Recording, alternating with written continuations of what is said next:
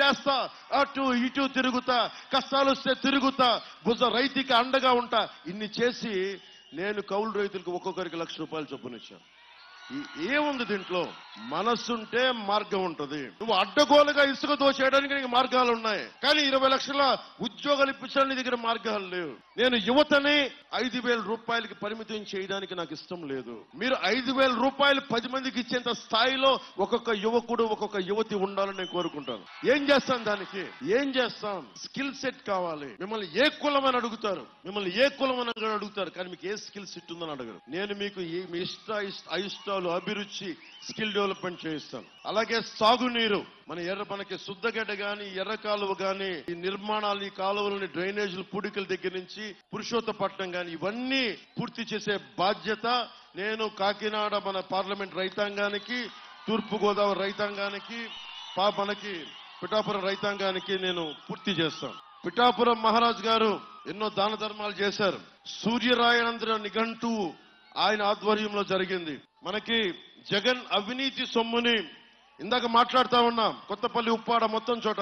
నలభై ఒక్క వేల కోట్ల మద్యాన్ని అడ్డగోలుగా కల్తీ మద్యాన్ని అమ్మి ఈ రోజున మేము అందరి ఓట్లు కొంటారని డబ్బులు ఇస్తున్నారు మీరు డబ్బులు తీసుకుంటారా? నేను ఇంకో ఇంకో మాట చెప్తా. తప్పు లేదు డబ్బులు తీసుకుంటాను వాళ్ళు మన డబ్బు అది. మన రక్తాన్ని పిండి పీల్చి పిప్పి చేసిన డబ్బు అది. కుటుంబానికి కుటుంబానికి లక్ష రూపాయలు ఇచ్చినా తీసుకోండి. ఓటుకి ఐదు వేలు ఇచ్చినా తీసుకోండి వైసీపీ వాళ్ళు. కానీ ఓటు జనసేన గాజు గ్లాస్ మనం ఎటు చూసినా వైర్లు ఉన్నాయి. డ్రైనేజ్ బయటికి ఉంది నా కోరిక మొత్తం ఈ వైర్లు బయటికి కనిపించకుండా చాలా క్లీన్గా ఉండాలి సిటీ. ఇందాకొస్తే రైల్వే లైన్ ఉంది. ఈ అబ్బాయి పాతిక వేల మందికి ఉపాధి అవకాశం కల్పించినాడు. టీ టైం ఒక చిన్న కాన్సెప్ట్ పెట్టి. మనకి ఆశ ఆలోచనల చోట డబ్బు ఉంటుంది. ఈ అబ్బాయి ఈ వ్యక్తి నిదర్శనం ఈ యువకుడే నిదర్శనం. తంగెళ్ళ ఉదయ్ శ్రీనివాస్. ఇతన్ని భారీ మెజారిటీతో గెలిపించిన మొట్టమొదటిగా ప్రధానమంత్రి గారిని నేను శాంక్షన్ చేయించేది ఈ రైల్వే లైన్కి ఫుడ్ బ్రిడ్జ్ కానీ దాని మీద ఓవర్ బ్రిడ్జ్ చేయించే బాధ్యత ఆగకుండా చేయించే బాధ్యత మేము తీసుకుంటాం. కాకినాడ పార్లమెంట్లో ఏమున్నా సరే ప్రధానమంత్రి గారితో మీకు తెలుసు నేను జగన్ లాగా అబద్ధాలు చెప్పను. ప్రధానమంత్రి గారి గురించి తెలుసు కదా నాకు ఎంత సాన్నిహిత్యం ఉందో. ఆయన సాన్నిహిత్యాన్ని వాడుకొని ఉపయోగించి చెప్పి పోలవరం ప్రాజెక్ట్ దగ్గర నుంచి మనం బ్రిడ్జిల దాకా అన్ని పూర్తి చేస్తాం. పిఠాపురం మున్సిపాలిటీ అభివృద్ధి కావాలి. దానికి కావాల్సిన అండర్ గ్రౌండ్ డ్రైనేజ్ నేను మీకు చె- మాటిస్తున్నా. ఇది స్మార్ట్ సిటీ అంటారో ఏమంటారో తెలియదు కానీ అద్భుతమైన పిఠాపురం ఇది. ఎలా ఉంటదంటే నియోజకవర్గం అంటే మోడల్ నియోజకవర్గంగా చేస్తాం. నేను మీకు మాటిస్తున్నా. పిఠాపురం స్మార్ట్ టౌన్ అనమన్నారు కృష్ణరాజు గారు. లేదు. పిఠాపురం కింద కొత్త పేరు మనం కనిపెడతాం. చేసిన తర్వాత మాట్లాడుకుందాం. మీ అందరికీ అన్ని రకాలుగా అభివృద్ధి నేను మాట్లాడుతూ ఉన్నాను. సమయం తక్కువ ఉంది నైన్ ఫిఫ్టీ ఫైవ్ అయిపోయింది. నేను ఒకటే అడుగుతున్నా. మీరు నన్ను నమ్ముతారా? నన్ను నమ్ముతారా? నేను మీకోసం నిలబడతానని నమ్ముతారా? ప్రాణాలు తెగించి మీకోసం సమస్యల మీద పోరాటం చేస్తాను నమ్ముతారా? నేను మీకోసం మాటిస్తున్నాను. అభివృద్ధి అంటే పిఠాపురంలా ఉండాలని డంకా బజాయించి దేశమంతా మారుమోగేలా పార్లమెంట్ అంటే కాకినాడ పార్లమెంట్ లాగా. ఆ అభివృద్ధి అంటే ఆంధ్రప్రదేశ్ లాగా.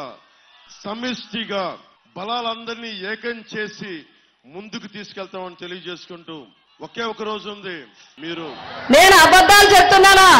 నేను పంతొమ్మిది నుంచి రెండు వేల పంతొమ్మిది నుంచి కరోనాలో మాయమైపోయానా? ఎక్కడ ఉన్నారు బాబు మీరు? విరవాడ. పెద్ద పెండలం దుంప రైతులను అడగండి. ఎవరు కొనిపించి ఒరిస్సాకి పంపించారో అడగండి. చేబ్రోలు పట్టు రైతులను అడగండి. వంగ గీత వచ్చి వారికి ఏం చేసిందో అడగండి. పండ్ల పళ్ళ రైతులను అడగండి. కాయగూర రైతులను అడగండి. పువ్వుల రైతులను అడగండి. మరి పేషెంట్లను అందరినీ అడగండి. మీకేం తెలుసు? మీకేం తెలుసు అని అడుగుతున్నా నేను. ఆడవాళ్ళని ప్రశ్నించే ముందు మిమ్మల్ని మీరు ప్రశ్నించుకోండి. కరోనాలో మీకేం తెలుసు? ఉన్న బిడ్డలకి తల్లులకి కరోనా వస్తే పుట్టిన బిడ్డకి తల్లిపాలు లేకపోతే ముసుగలేసుకుని కోట్లు వేసుకుని హాస్పిటల్లో కూర్చుని డాక్టర్ సాయం తీసుకుని కరోనా కరోనా లేని తల్లుల్ని బతిమాలి బిడ్డలకి పాలిపించింది నేను. కరోనా పేషెంట్లకి చూసింది నేను. రెండు సార్లు కరోనా వచ్చినా జనరల్ హాస్పిటల్ ఉండి పేషెంట్లు చూసింది నేను ఇంత అవమానిస్తారా? ఇంత వెటకారం చేస్తారా? రాజకీయాలు రాజకీయాల్లో చూడాలి. వర్మ సోదరుడు అంటారు. ఏసీలో తిరుగుతున్నారంట. ఆ ఏసీ ఏసీ. వంగా గీత గారు ఏసీలో తిరుగుతారు. నియోజకవర్గానికి రారు. రెండు వేల పంతొమ్మిది గారు. నేను చెప్తున్నాను.